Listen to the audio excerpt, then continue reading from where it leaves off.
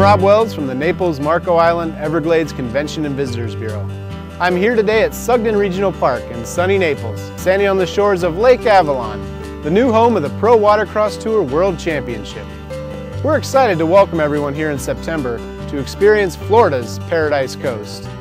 Besides enjoying all the fun that will take place here on Lake Avalon, we invite you and your family to enjoy all the fun and excitement our area has to offer.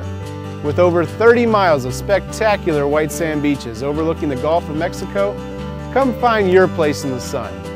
If you're a golfer, welcome to Golf Heaven.